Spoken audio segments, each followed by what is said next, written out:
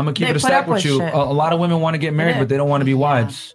Remember, and, and and uh, an example of that: who initiates the divorces? Who breaks up the families? It's the woman, man. Like the statistical data is there. Like men will tr- always try to make a marriage work, but it's the women that leave. Yeah, after he wanted to fuck a thousand other women. But back then, women were willing to put up with a lot. They were. Right now, women are not. Not. My No, grandparents have been married since they were 17. Yeah. My grandpa had a, whole other kid with another another woman, and she still stood by him. Why? Because she was willing to put up with it. Nowadays, women are not willing to put up with, Let, let- with let- anything. let me ask you: Was it a good environment for your parents for the most part? For my grandparents? Not for your parents to live underneath your grandparents. Oh, probably not. Why? Why? Why do you say probably not? Why? Because of that's infidelity. That's fighting. That's you're you're seeing. Why is my mom divorced now? Why? Because she look what she grew up to.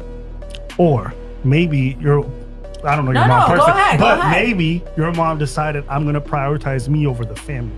And you know what? When you mm. raise a kid in a divorced household and you put you prioritize your sense of happiness first, what ends up happening is that the kid suffers the brunt of that negative energy and that choice that you make. So when I say this is like your grandparents went like family unit's the most important thing.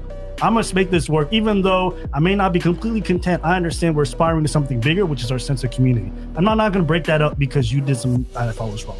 So you get down to your parents' generation. This is the boomer generation, the highest divorce rates we've ever seen. Now everything's about me. They go to divorce courts. Where's your assets? Where's your money? They don't bring up love during that whole period. They say, I want Facts. everything that you fucking got. Yeah. Love never comes in, right? So then you get to this generation and they just completely throw that out. And I think one thing that the West, and I think in Western countries, we, we think about a lot is like, me. It's always about me. And not mm-hmm. recognizing when you marry, it's about a community. So your desires sometimes have to be a bit on the back burner and you have to understand you are sacrificing for something larger.